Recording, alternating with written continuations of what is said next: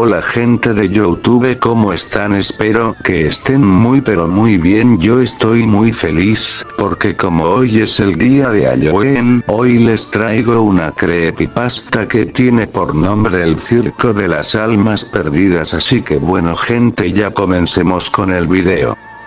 Hace muchos años, en un pequeño pueblo rodeado de densos bosques, se encontraba el misterioso Circo de las Almas Perdidas. Era un lugar que parecía surgir de la nada, como si hubiera surgido de las pesadillas más oscuras de alguien.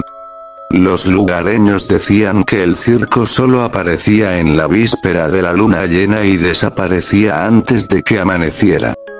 Nadie sabía quién era el dueño ni de dónde venían los artistas. Solo se sabía una cosa.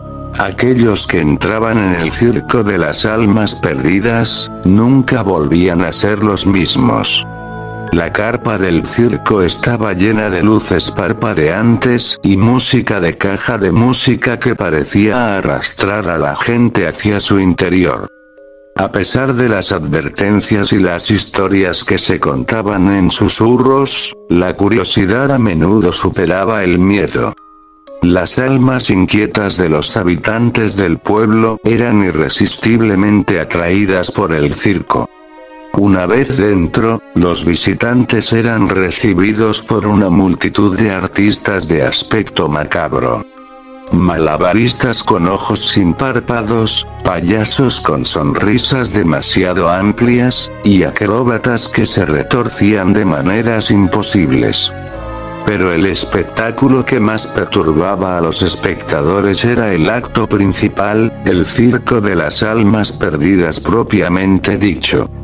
En el centro del escenario, un hombre vestido de negro con un látigo en la mano dirigía a un grupo de almas enjauladas. Eran personas que alguna vez habían sido del pueblo, pero ahora estaban atrapadas en una especie de trance, actuando como marionetas sin voluntad propia. Se decía que eran las almas de aquellos que habían sido atrapados por el circo en noches anteriores. El dueño del circo, conocido solo como el maestro de las almas, realizaba un espectáculo de control mental que dejaba a todos los espectadores atónitos. Cada movimiento, cada mirada, era ejecutado con una precisión escalofriante. Los ojos del maestro parecían penetrar en el alma de los presentes, robándoles un pedazo de sí mismos en el proceso. Después de cada actuación, el maestro de las almas elegía a un miembro del público y lo invitaba al escenario. Con un simple gesto, convertía a esa persona en una de las almas perdidas, condenada a unirse a su grotesco espectáculo por toda la eternidad.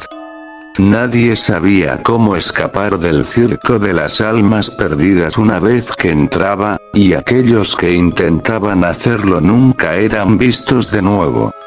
El circo parecía tener un poder oscuro que lo protegía y lo ocultaba de los ojos curiosos y las autoridades.